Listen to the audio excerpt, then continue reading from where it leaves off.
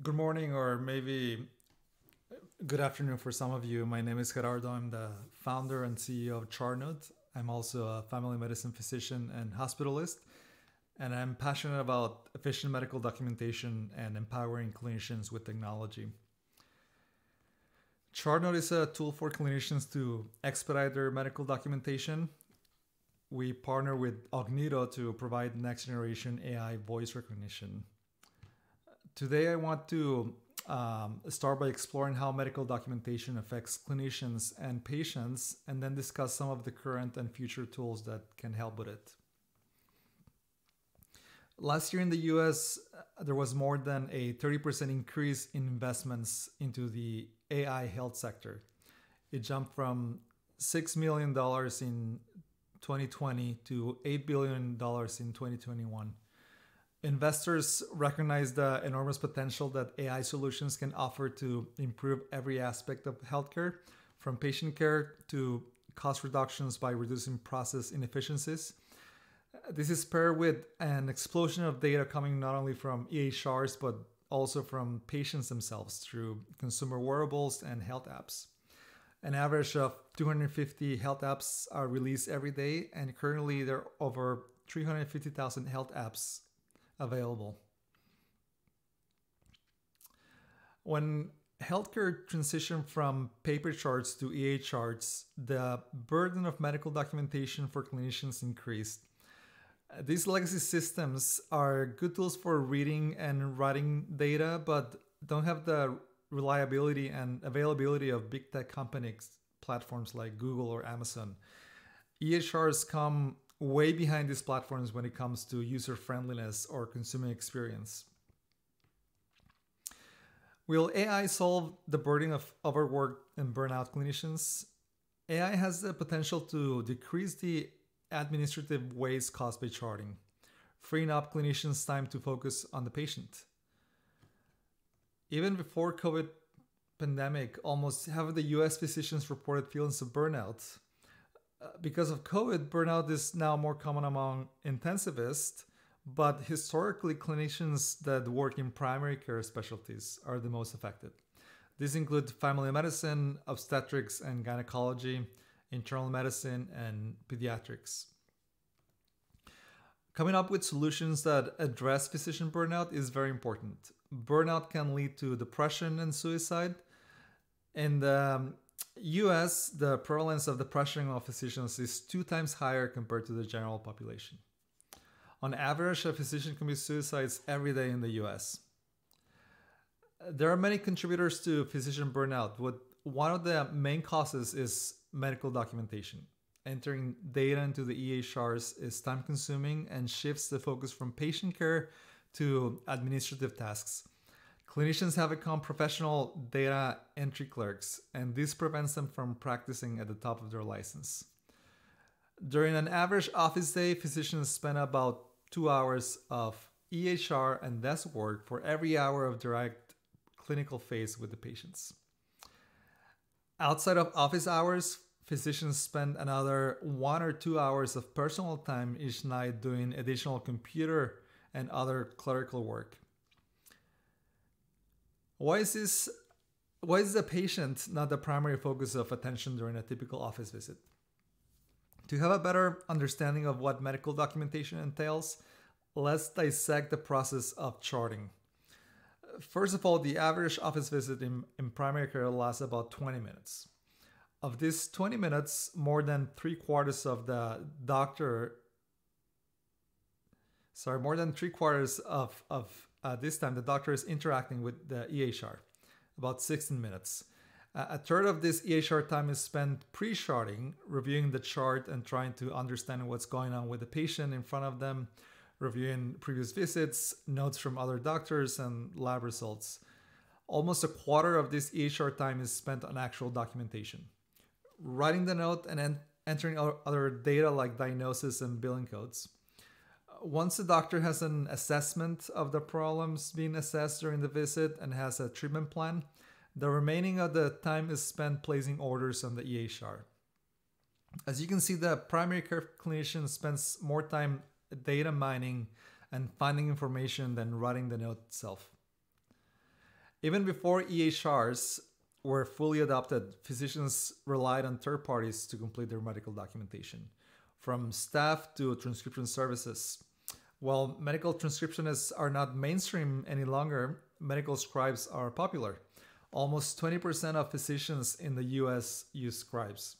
And nowadays, speech recognition is even more popular.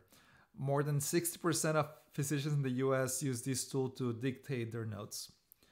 Another low tech tool to expedite their medical documentation is the use of problem oriented templates. They not only decrease charting time, but also improve the quality of the note. Using scribes and transcription services is not only expensive, but they both have their unique set of limitations. They are both labor intensive and are hard to scale. Transcription turnaround time for completed notes can take up to 24 hours. Onboarding a scribe is time consuming, and these positions have high rates of turnover, making the quality of and consistency of this service unreliable at times. Uh, dictating a note using speech recognition has many advantages. The advantage of dictating versus typing a note using a keyboard is significant. A physician, on average, can type 35 words per minute. Uh, on the other hand, speech recognition software can easily transcribe over 150 words per minute. AI has a tremendous impact on the accuracy and quality of speech recognition by leveraging deep learning to achieve voice to text and include some natural language understanding. This next generation voice recognition has the ability to detect intent. It can understand voice commands from the user. This very high level natural language processing task allows these tools to be sort of an assistant to the doctor using speech recognition and artificial intelligence to populate a note in the EHR using the physician's voice without navigating the EHR user interface. Many companies now offer solutions that use deep learning NLP. However, most of them still require a human in the loop to assure quality of the medical documentation. Ambient clinical intelligence is what the future of AI in medical documentation will be. The goal is to remove the keyboard and the mouse from the doctor patient interaction. Ambient clinical intelligence captures some multi party conversation and creates clinical documentation automatically by using text summarization. The white papers from companies offering these tools show more than 50% reduction in documentation time and physician burnout. These are obviously the results of small studies, but there is real potential in, in this elegant solution.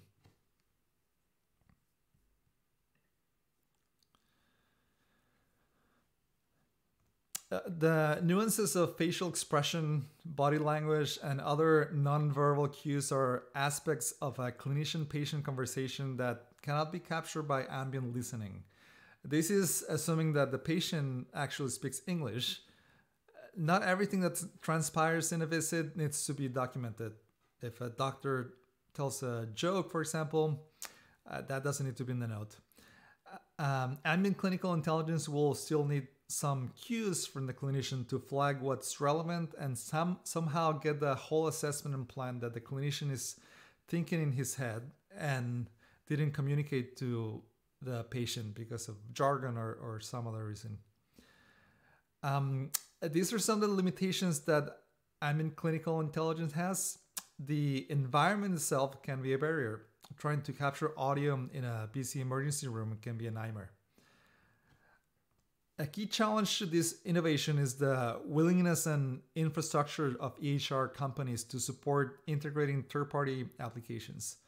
Traditionally, EHRs are well known for limiting innovation with their restrictive interoperability. And although EHR's connections with outside systems have improved, there are different levels of interoperability.